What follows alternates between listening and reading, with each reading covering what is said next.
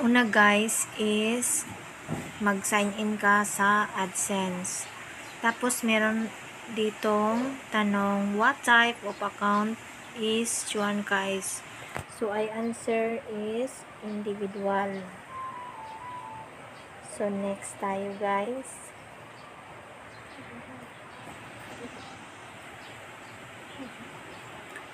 Are you a citizen resident of United States? Siyempre, no. No tayo, guys.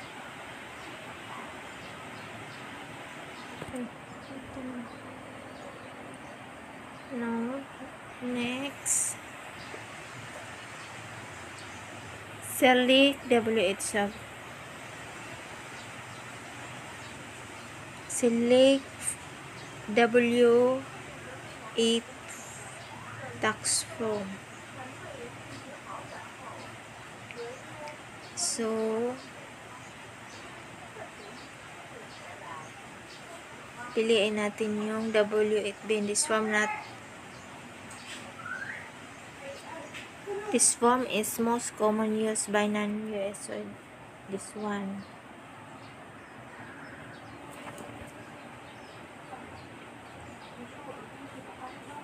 Next tayo is start the form.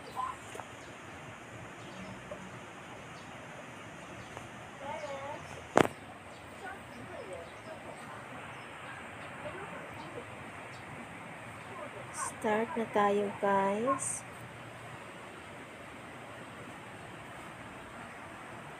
Tax identity, so name individually, so na, andyan na yung name ko. Next guys is yung country. Siyempre, Philippines tayo. Kaya, Philippines ilagay natin. Hanapin natin yung Philippines.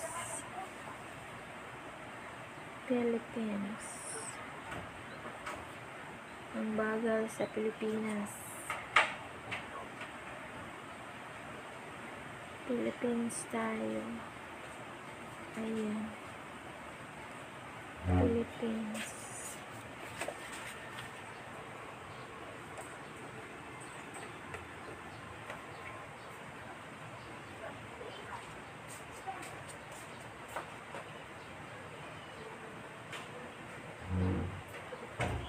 Kung may tin kayo, ilagay nyo lang dito sa foreign 10. Excuse me. Foreign 10 is, my 10 is 4 3 1 4 3 5 6 7 9 4, 3, 1, 4, 3, 5, 6, 7, 9.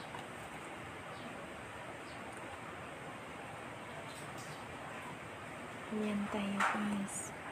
Next natin gawin is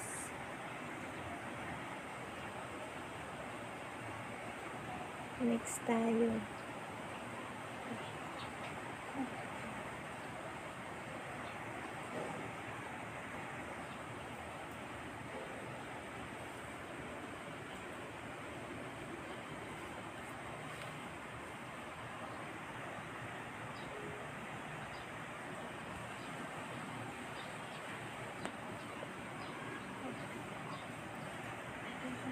Address natin is Barangay Sangkul.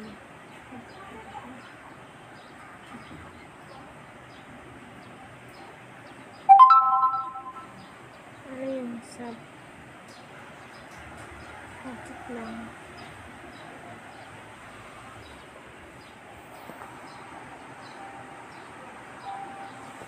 Resin natin yun.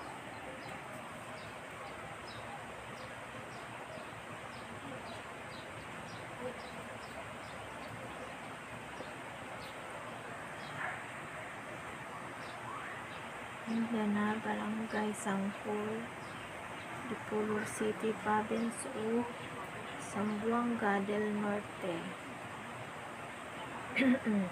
Ayan, Sambuanga del Norte.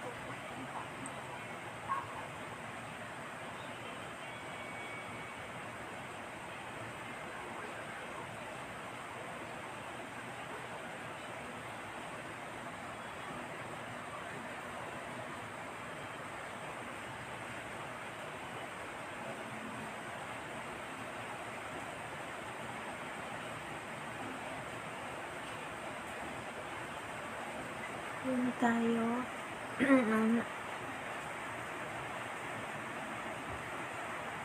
Yan, Philippines. Yung address nyo, ilagay nyo. I-review ko lang guys. So, yan, si STC.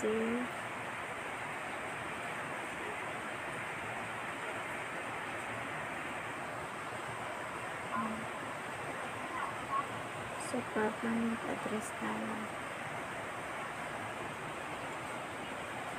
The same lang din yung address ko guys.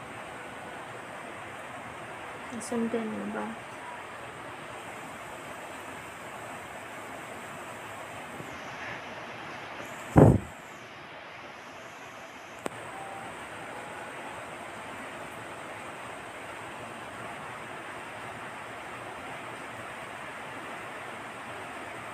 Ano yung permanent resident address is PO Box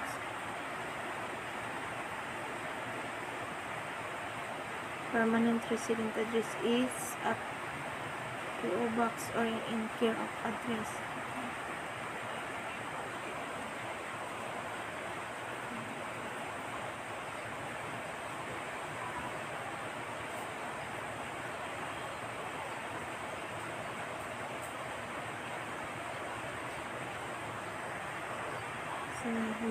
Natin to i-check.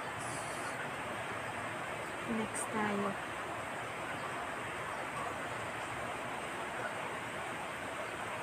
Next tayo guys.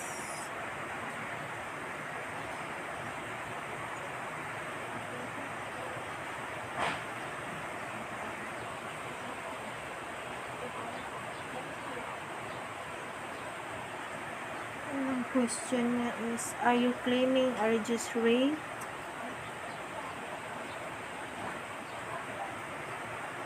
Resident of the country claiming treaty to US. Are you claiming a reduced wages?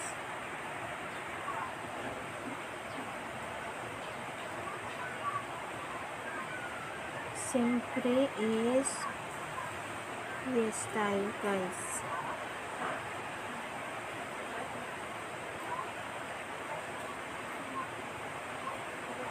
Yes tayo. Philippines. Excuse me. Choose Philippines.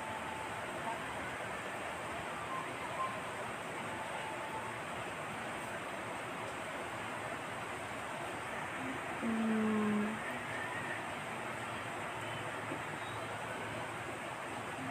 Legit lang ha. Are you claiming a rate? Siyempre, yes. Resident of country claiming. Resident of country claiming treaty is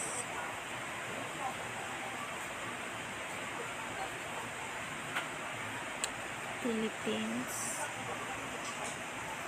Next tayo. You may accept tax withheld reduced rate special rate condition you may be exempt or tax withheld reduced rate income types earned with this reduced rate ng countries and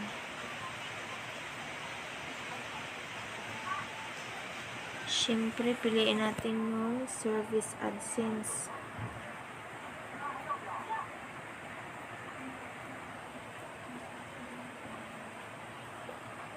article 1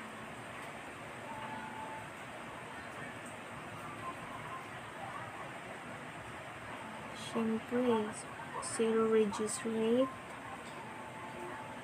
Yan ang piliin natin.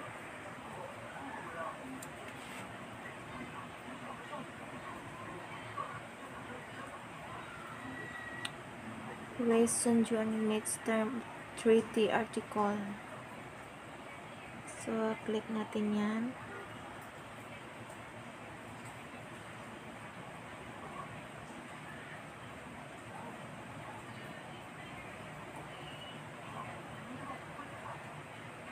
Ayan. Ayan yung piliin natin. Next tayo.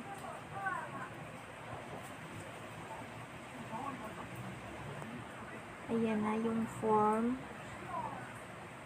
na pinilapan natin. I-confirm lang natin yan. I confirm that I review the generated tax. Pagkatapos, next again. So, kina kailangan ilagay mo yung full name. Lagay sa na. So, um,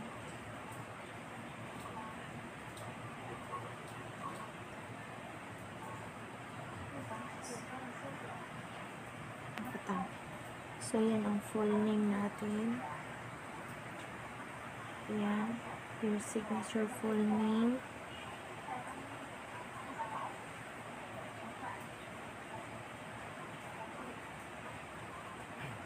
Yes, I am the person listed in the signature section that I'm completing this form. Siyempre, yes. Yan ang pindutin.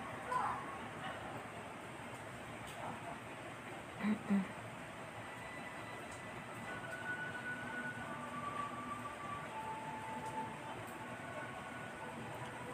ang pindutin, yes. Tapos, next na naman tayo. na naman itong question.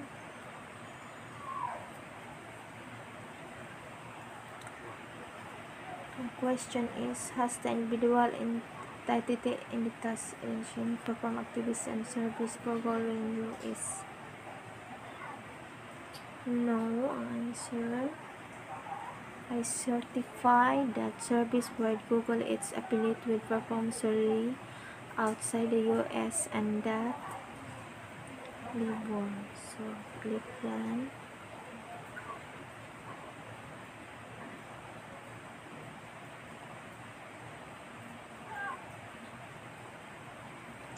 So, next is status change affidavit. I am provided I am providing tax info for a new existing payment profile that profile that hasn't re- receive payment. So, hindi pa man ako naka-receive ng payment. So, that's one. Then, submit.